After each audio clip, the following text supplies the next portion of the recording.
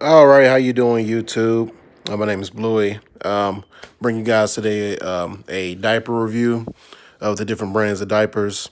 Um, I have a eight month old, and we've bought you know quite few of a selection of diapers.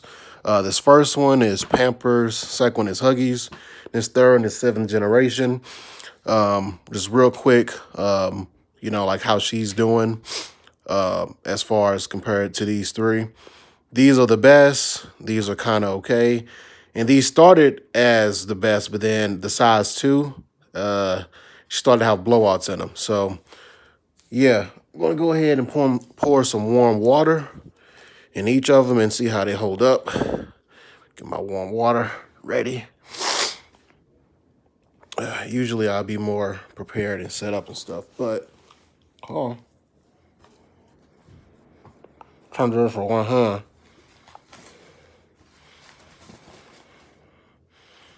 All right, so that's the uh, Pampers. See how well that holds up. And then we're gonna do the Huggies real quick. This is the first review ever on anything, so y'all gotta bear with me. I don't have a tripod or anything. This is the Huggies. And also, um, you know, I've seen a lot of diaper reviews on YouTube, and most of them are from women, you know what I'm saying? And uh, I'm a first time father, and, you know, I felt weird trying to shop for diapers and stuff, and I want my baby girl to have the best. And, you know, if you are a father, first time father, ain't there's nothing wrong with trying to invest on, you know, what diaper qualities are out there as far as, you know, your kids and stuff. Because uh, it's very important to know because you will be changing them. So get those a minute to soak up. While those soak up, just to give you out an idea of how many diapers we got, because we didn't get just one brand, we got a whole lot of brands just to see what we should be allergic to or be the best quality in, you know. Right now, she's in size three. Um, we have a box of size one left over, two boxes of size twos. We haven't went, went to the size four yet.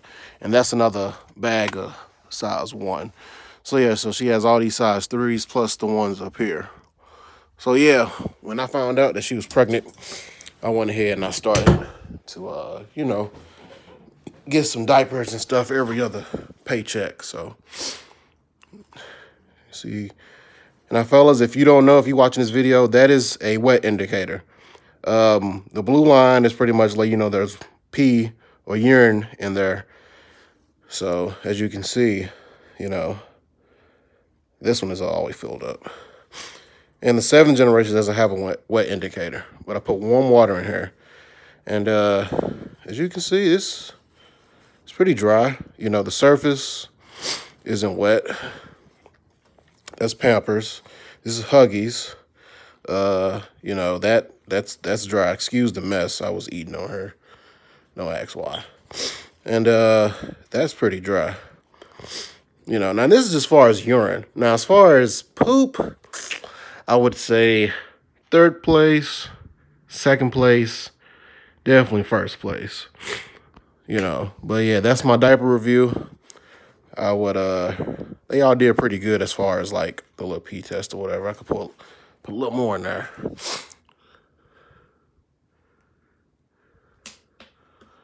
see. Yeah. Yeah, they all did pretty good. Um, but as far as poop, mm, like I said, third, second, first. So, yep, that's it. Uh, hope y'all got some good information out of this. Take care.